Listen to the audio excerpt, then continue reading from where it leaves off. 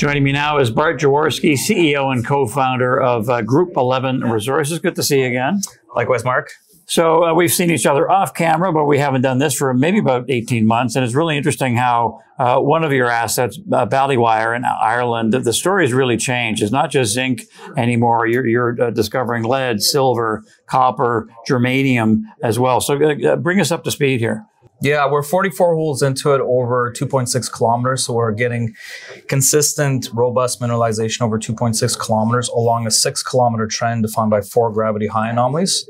And only one of those gravity high anomalies is where we've drilled. And so we've got three more to go. Uh, so we really, this year, we'd like to really spread our wings and test for that. You mentioned the germanium. We're getting in January. We put out a news release where we're showcasing that we have elevated germanium over our total discovery area to date. 10 to 40 grams or uh, 80 grams per ton actually um, per ton. We can get to that, uh, I guess, a little later on. But the copper is really interesting. You mentioned copper. So we have a number of pierce points now where we've drilled through and we're hitting these feeder zones. And these feeder zones have a lot of silver, up to 1400 grams per ton, and also multi percent coppers.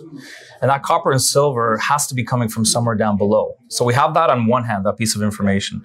On the other hand, we also know the stratigraphy of the geology of the area. And we know the stratigraphy is 100 meters below our discovery horizon, there is something called the lower limestone shale.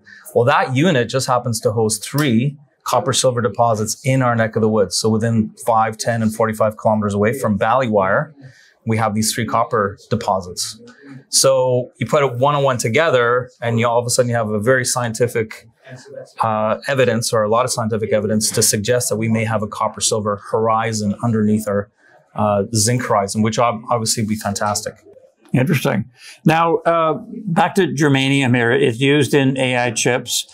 Uh, China has uh, uh, restricted exports of it, basically. So, uh, how does this fit into the Group 11 story? How significant is, is it, and how, how big could this be for you potentially? It's a nice, it's certainly a nice sweetener, but it's also a geopolitical sweetener as well. It's very strategic for us. Obviously, having germanium on European soil would be of interest to North America, I think to Europeans as well.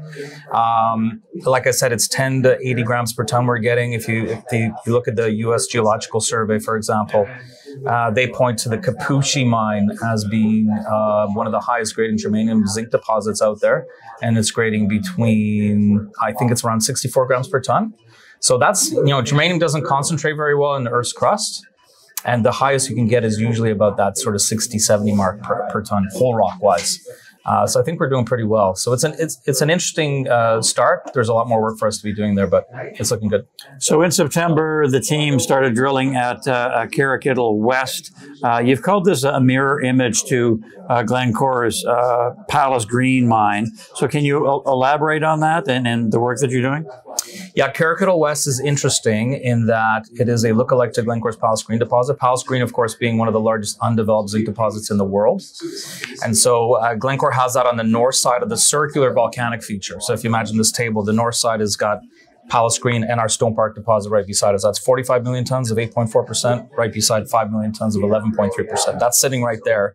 And it's associated with this volcanic feature. On the south side, identical geology plus a major fault running through it, which should make it even more prospective.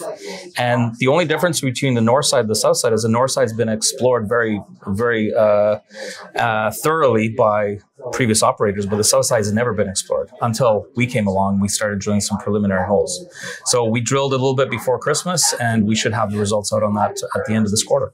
Very good. Now, speaking of Glencore, they own about 17% of the shares of Group 11. So does Michael Gentile, uh, who is familiar to Red Cloud viewers, very well known commodity investor. I'm just wondering how you describe the shareholder base, and not only that, how, how it allows you maybe some flexibility in the things you can do. Yeah, we've been blessed, I guess, in strong shareholder support through Glencore, through Michael Gentile, and of course, fantastic to have Michael Gentile now having uh, having basically joined the board over the last few months. That's been absolutely fantastic, and he really looked at us saying, "Look, we've been backer of you guys for uh, four years or so now. The Ballywire discovery looks to be." one of the best, or it looks to be like the real thing. So I'm happy to, to jump on. So it's it's great to have him on board. And obviously with Mike, he brings a lot of other people, a lot of attention to the story as well. So it's it's uh, really allowed us to spread our wings and uh, and get better valuations out there. Lastly, Bart, go out a few years if, you could. What is the actual vision, the long term plan, the, the end game, do you think? Well, I think it's important to note that our discovery at Ballywire is only 20 kilometers away from Pallas Green and Stone Park. So you have some critical mass sitting there, not too far away from us, within trucking distance, if you will.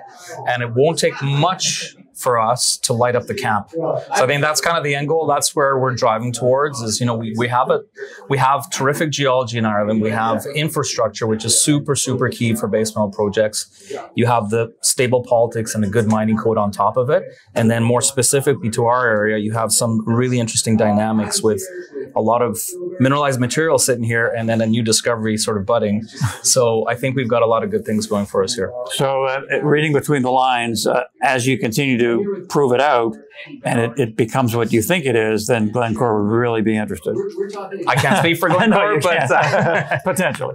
Potentially, you know, we yeah. have uh, Glencore South 32 is next to us. You have Boliden in the camp. There's there was a story in the Irish papers written about a couple of weeks ago talking about a potential new entrant into the mining situation within Ireland. There's 30 million euros that's going to be spent by the Irish government through the Irish Investment Fund.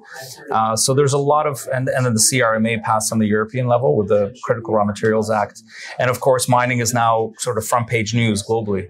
Uh, speaking. So, uh, not to mention the T word, but uh, so uh, I think there's a lot of interesting things going on macro wise and micro here with us.